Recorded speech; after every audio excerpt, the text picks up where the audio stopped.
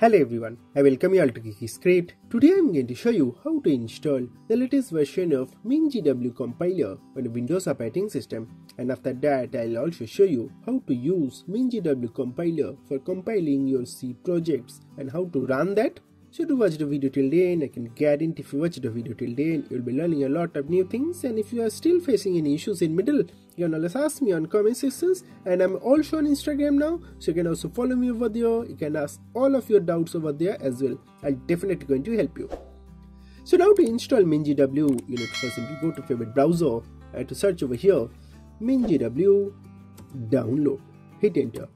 So that will show you the sourceforge.net. So just simply go to their official site. So just click on the first link and you'll be redirected to this MinGW minimalistic GNU for Windows. Here it is just simply click on this download button. So this link I'm going to provide on our description. You can also use that link from our description to land over here.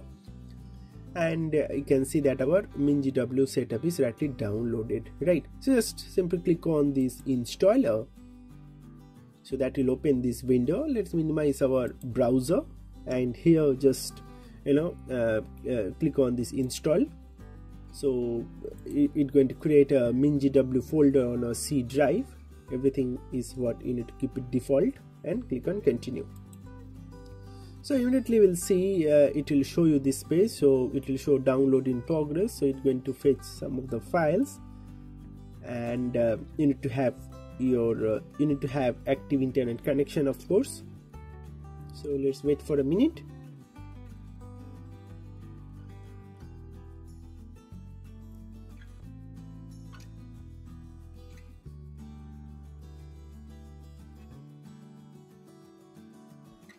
And you can see that it is rightly done. So simply click on continue over here. So that will open this MinGW installation manager window.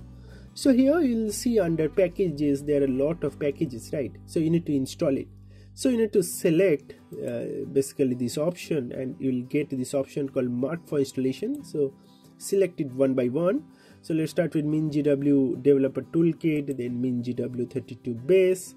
So select it click on mark for installation do the same for ADA then Fortran. So then uh, G, uh, GCC G++ and the final uh, GCC OBJC. Alright, so everything select and click on installation and click on apply changes. Immediately we'll see this window, just simply click on apply and you can see connecting to uh, the server and it is started downloading, right?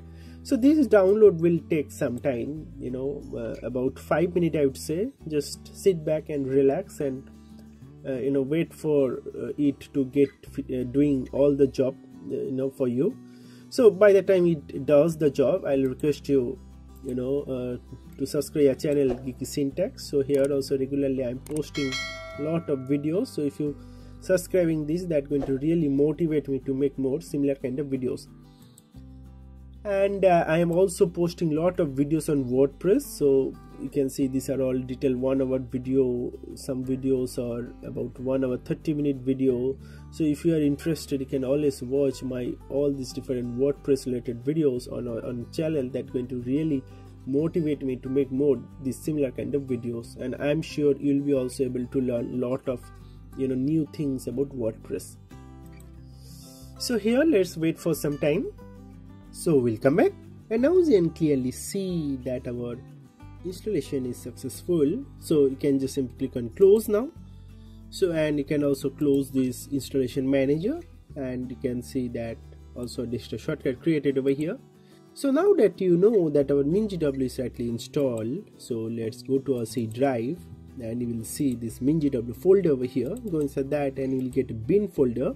So go inside that so what you need to do is you need to set this path to your environment variable. So we have a G++ GCC. So we are going to use this compiler to compile our program. So I'm going to show you all of that on the later part of the video. First is you need to set your path to your environment variable. So copy that and go to search and type environ. So that will open this edit the system environment variable. Click on environment variable and click on path edit and new and right click and paste that path. Alright click on ok then again ok and then again ok and now if you minimize this and just simply go to search and type cmd to open your command prompt and within command prompt if you just simply type g plus plus space dash dash version and simply hit enter will get this type of prompt. So if you are getting this type of prompt then all that basically means is your MinGW is rightly installed. So now let's create a simple program on C. So create a new folder and let's give the folder name as C practice. And just simply go inside that folder and let's you know right click and create a new file text document. And let's give the file name as program and I'm going to change this txt with .c. Hit enter. So do you want to change the file name extension? Yes. So now we have a program.c file. So if you are unable to see this type of extension like .c or .txt you need to go to view and to hover over show and then need to enable this file name extensions. Alright. So see I have a ticked icon beside file name extension. So you need to enable that once you enable you will get this type of file name extensions. Just open this file in a notepad. So edit in notepad. And uh, here let's write a hello world c program. So hash include stdio.h int main and within parenthesis i'm going to print hello world. So printf hello world. Just end with semicolon and return something. So let's return 0 and just go to file and save this file. So this is our simple hello world program. Just uh, click on this address bar and type cmd to open your command prompt right at this location. And now to compile this program all you need to do is you need to just simply type g++ then name of your file which is program.c so program.c hit enter immediately we'll see that our program got compiled successfully and it is not throwing any error. So everything is good. It has generated a file called a.exe so you need to run this file. So in order to run that just simply type a. That is basically the name of our output file a.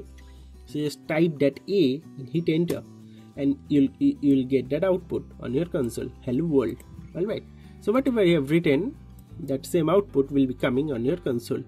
Alright, so this way you can easily install MinGW on a Windows operating system. On my next video, I am going to talk about how to get user input and how to use that user input on your program and, and you get that output. So all of that I'm going to show you on my next video. So don't forget to subscribe our channel and press the bell button to get notified and also don't forget to watch my other WordPress videos. I can guarantee you will be learning lot of new things by watching all these different videos.